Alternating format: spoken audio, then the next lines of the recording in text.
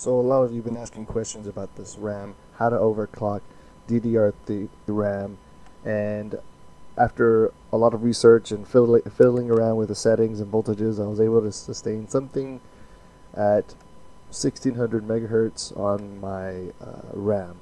And in order to do this, I was able to do it through the BIOS. And here are the settings. Let me go ahead and show you the settings and what I was able to achieve. And if you want to keep stability with these with these RAM sticks, it all has to be the same speeds at running at the same volts. But let me go ahead and show you what the timings are. And this is what I had to set. Before, they were at 999 uh, 24. And that was the timings that I had before, and these are the timings I have now.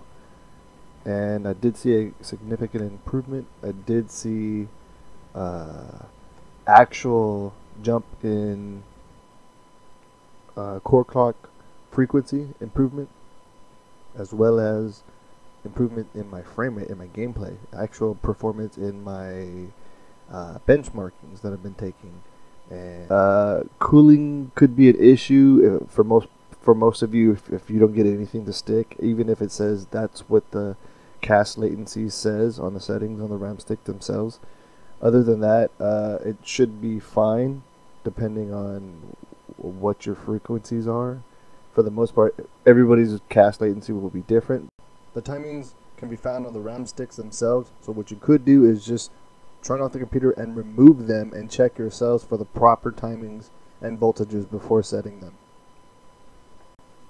If anybody has any questions or suggestions about future content or anything that they'd like me to try on this uh, gaming setup or workstation setup, go ahead and leave comments down below and uh, check out the website as well as I do have a Facebook page and don't forget to like, share, subscribe and everything like that and I will see you guys in the next one.